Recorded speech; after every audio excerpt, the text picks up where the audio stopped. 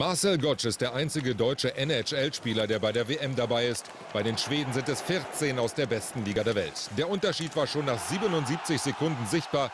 Markus Krüger, Stürmer von den Chicago Blackhawks, nutzte die erste deutsche Abwehrschwäche.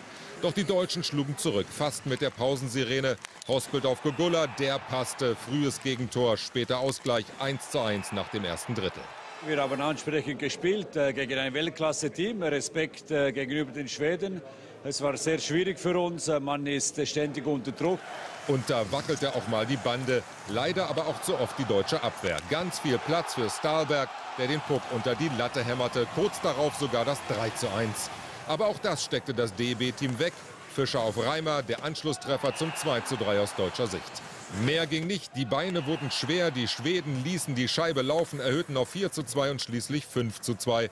Der achtmalige Weltmeister war einfach zu stark. Wir haben uns die ersten beiden Drittel ganz gut verkauft und waren eigentlich nah dran und äh, ja, haben ihnen dann zu viele Chancen gegeben. Ich meine, so eine Top-Mannschaft nutzt es natürlich aus. Es ist natürlich äh, frustrierend, dass man äh, äh, eigentlich zwei sehr gute Spiele absolviert und äh, mit null Punkten nach Hause geht.